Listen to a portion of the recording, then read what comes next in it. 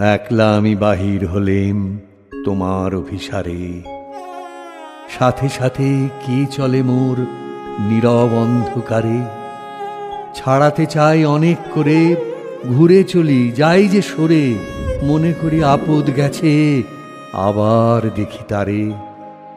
ধরণী সে কাঁপিয়ে চলে, বিষম চঞ্চলতা।